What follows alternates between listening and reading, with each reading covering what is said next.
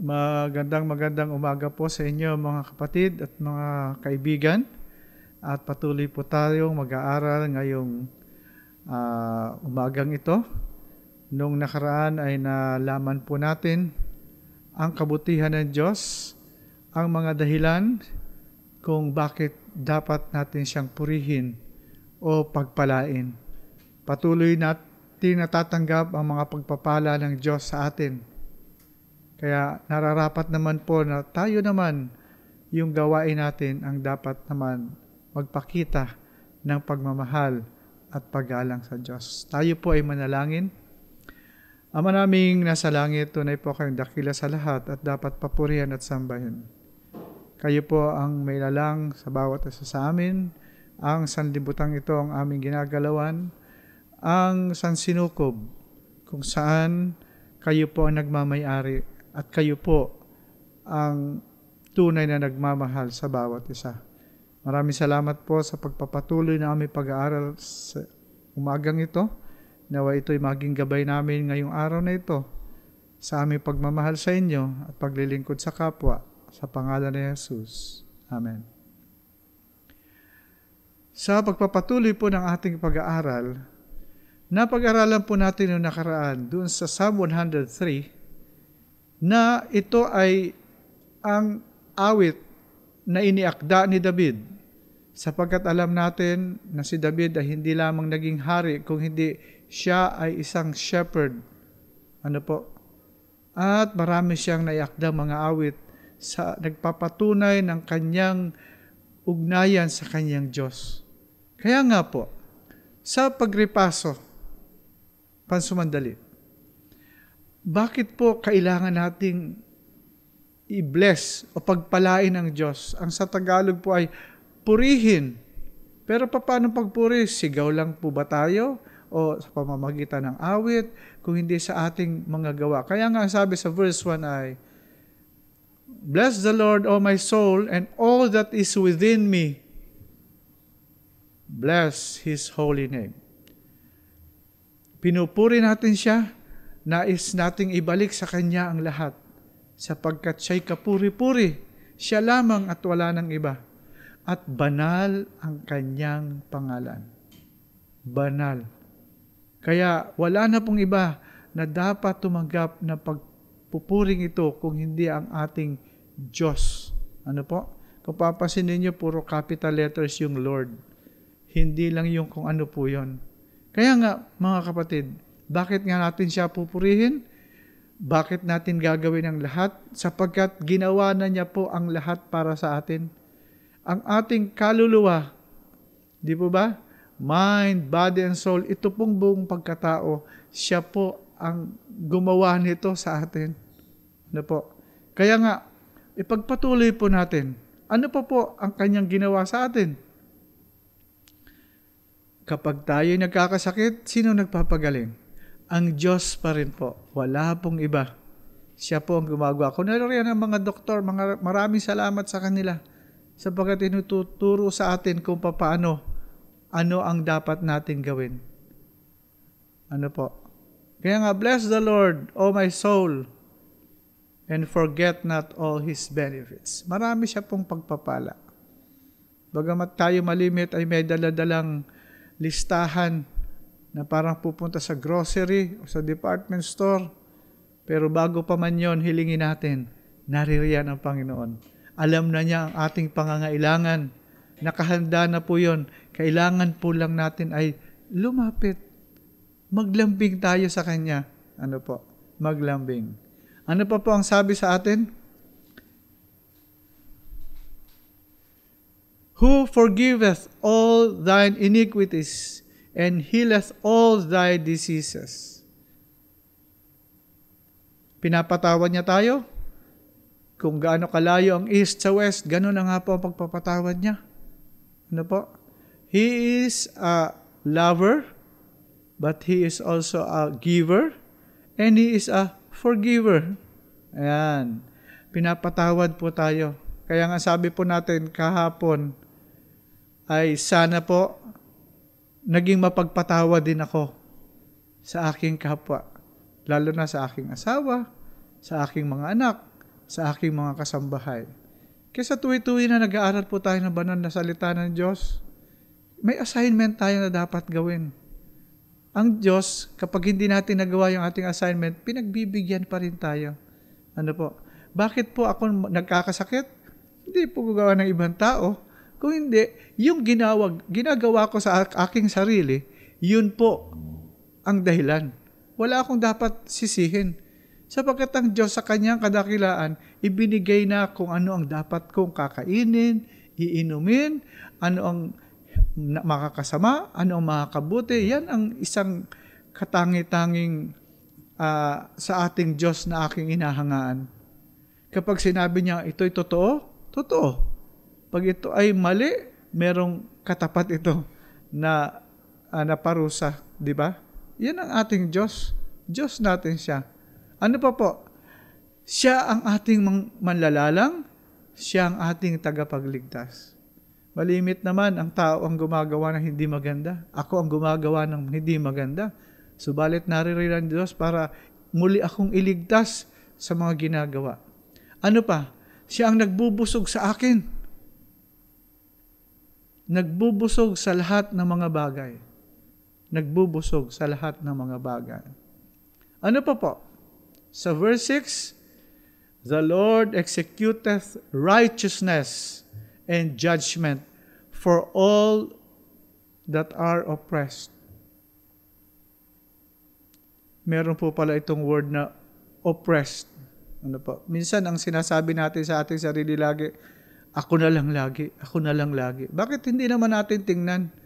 Kung ang Diyos ay pinapairal niya yung katuwiran ano po, katuwiran at natural, meron niyang paghukom, paghusga, paghukom, ay sana ganun din ako kahapon o nung mga nakarang araw sa aking mahal sa buhay.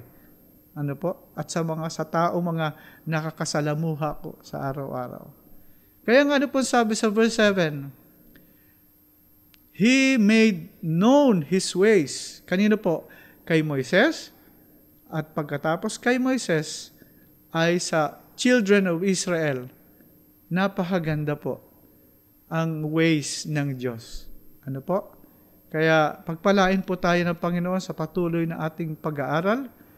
How do we bless God? Blessings come from God, pero papaano ko siya binibigyan ng karangalan?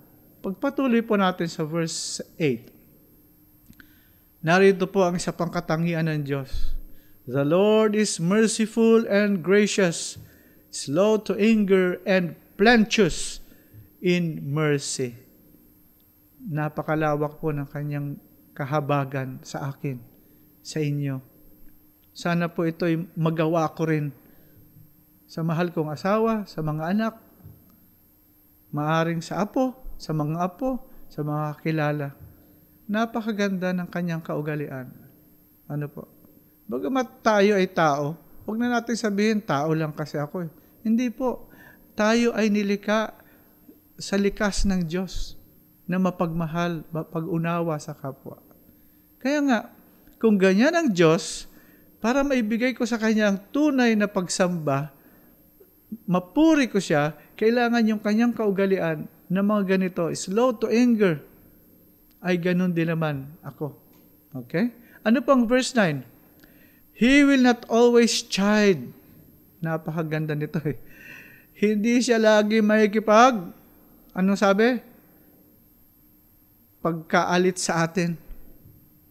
Tayo lang namang tao ang gumawa ng, ng isang lugar na nalayo sa Diyos. Hindi ang Diyos ang lumalayo sa atin.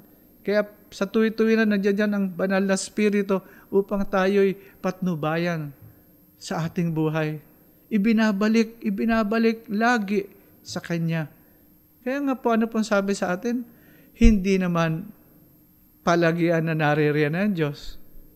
Dumarating ang panahon na yung judgment, kung baga sa, sa mga na, na mga tao na laging kinakawawa, nakaside ang Diyos sa kanila.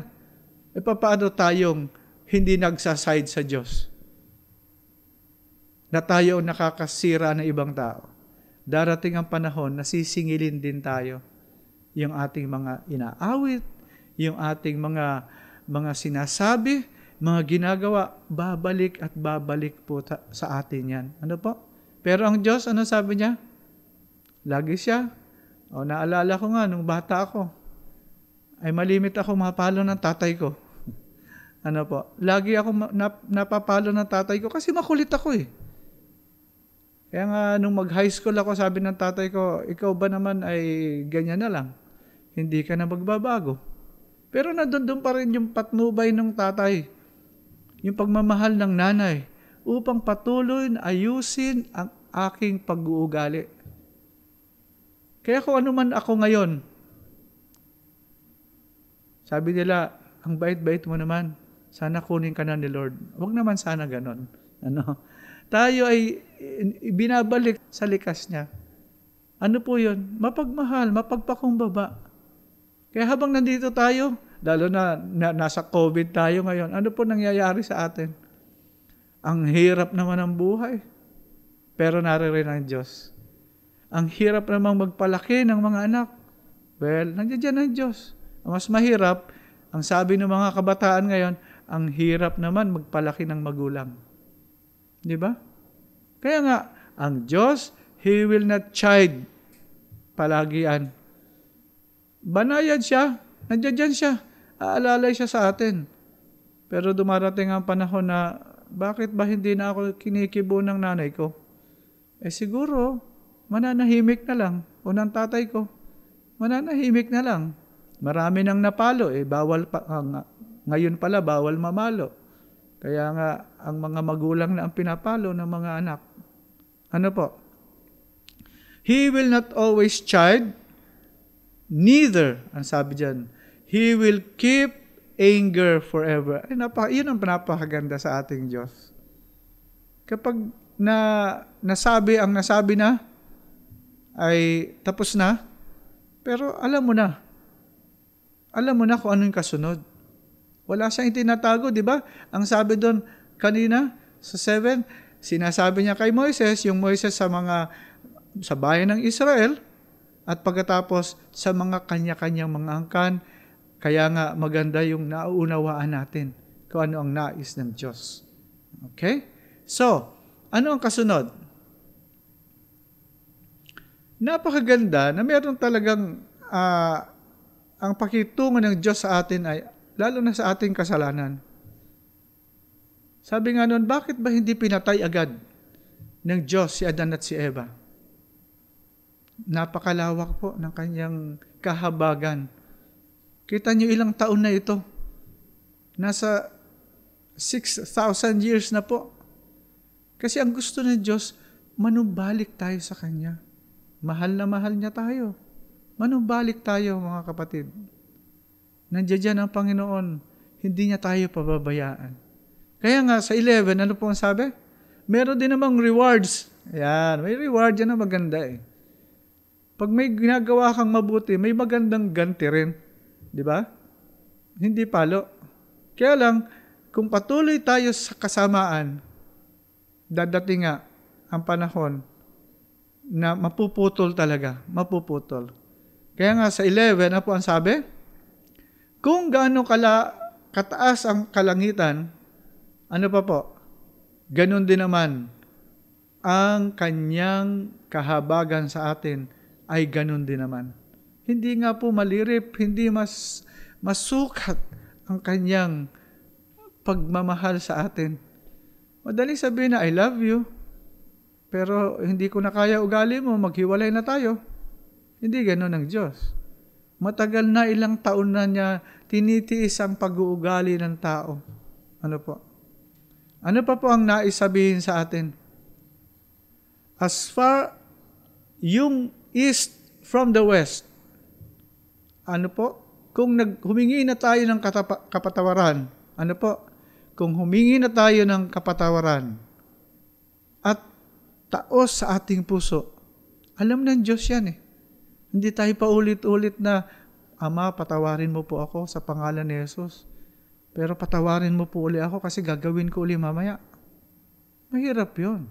Ang kailangan po, ay kung ano yung sinabi natin na gagawin natin, ay gawin na po natin sapagkat hindi natin alam yung sumusunod na mga panahon sa ating buhay. Kaya nga ito po napakaganda sa verse 13. Like as a father pitieth his children, so the Lord pitieth them that fear Him. Ayun yung salita sa dulo, that fear Him. Ito po ba yung natatakot tayong nanginginig? Hindi naman po. Yung paggalang ay naroroon. Naalala ko yung tatay ko. Takot na takot ako sa tatay ko eh. Hindi naman sa takot ako sa nanay ko na hindi ako natatakot sa nanay ko. Kaya lang, magkaiba eh. Magkaiba. Kaya lang sa tatay ko, kapag may sinabi siya na isa, dalawa, tatlo at ginawa ko pa, alam mo na ang kasunod makakatanggap ka ng mahabang candy.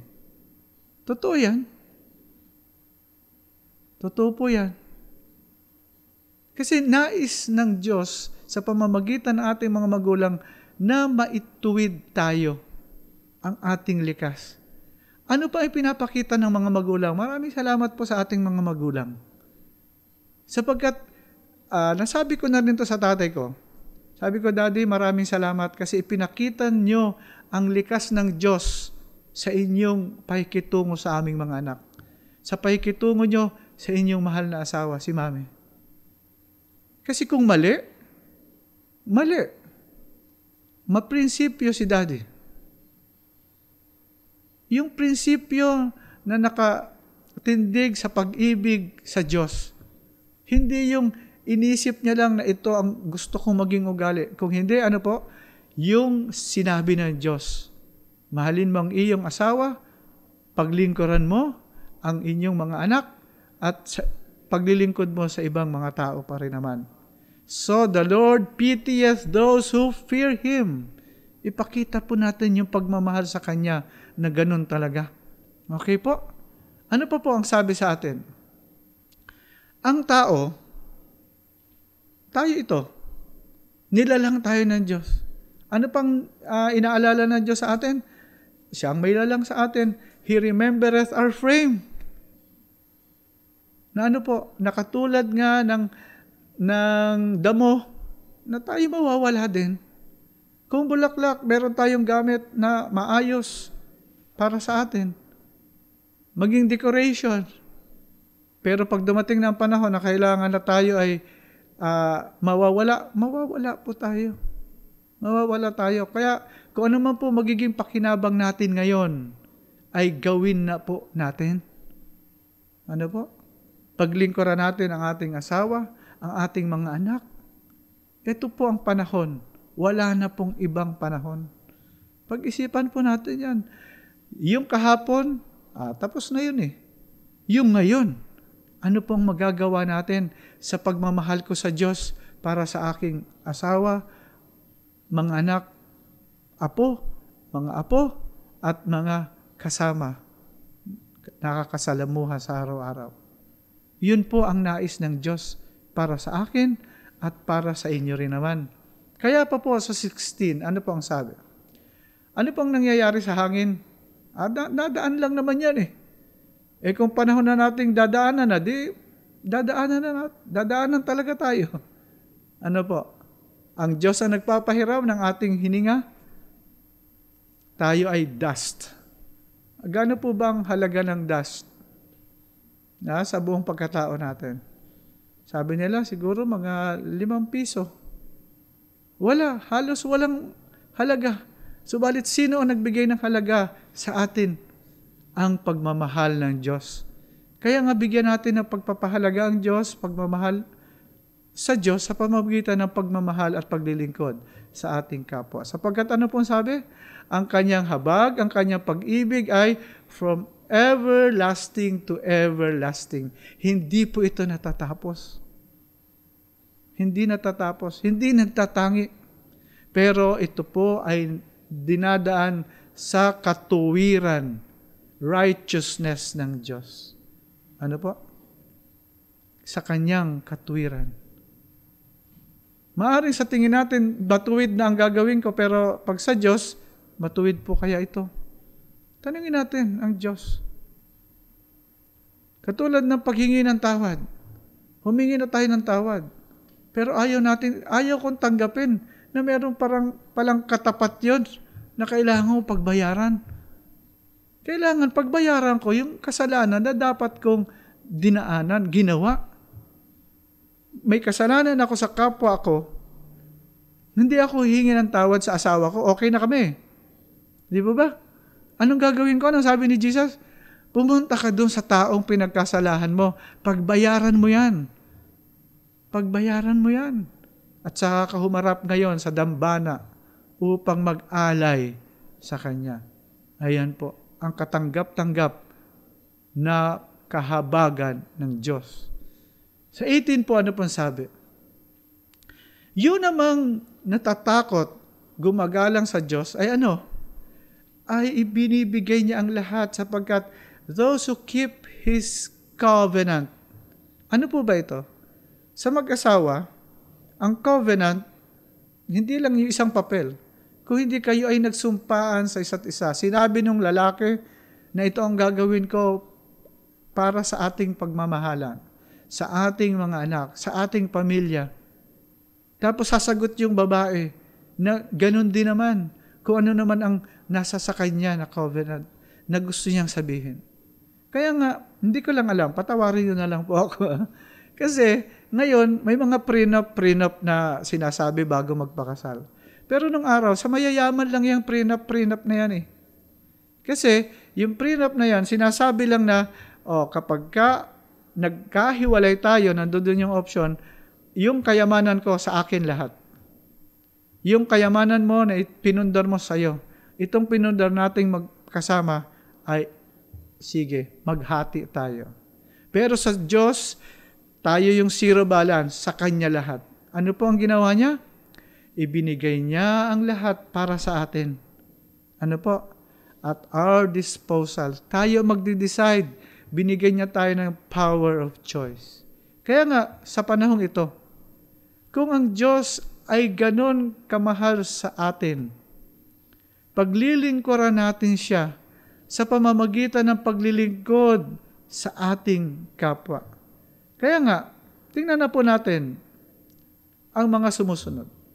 Tatlo ito na puro bless the Lord. Bless the Lord, ang una, yung angels. Nasasakupan niya ito eh. Ito ang sinabihan niya, yung mga anghel You bless the Lord, you serve the Lord. Purihin nyo sa pamamagitan ng inyong pagsunod sa kanyang sinasabi. Ano pa po? Verse 21. Bless the Lord, all His host. Ah, lahat na nang nasasakupan. Hindi lang yung mga angels, kundi lahat ng sansinukob. At ito ay gagawa para sa kanyang good pleasure kung anong gusto ng Diyos, hindi yung kung ano yung gusto ko. Ano po?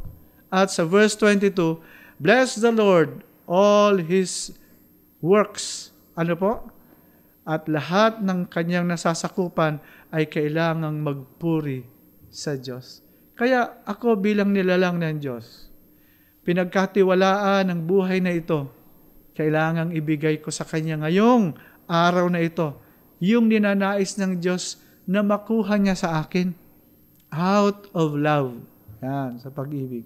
Kaya mga kaibigan at mga kapatid, sa araw na ito na ipinagkakatiwala sa atin ng Diyos, sana ay magpatuloy na tayo ay maglilingkod sa Kanya. We will bless His holy name sapagkat siya'y banal, binigay na niya sa atin ang lahat-lahat ng mga bagay. Kaya magpatuloy tayo nagmamahalan sa isa't isa sapagkat yan din naman ang sabi ni Jesus, habang siya'y pabalik na sa langit.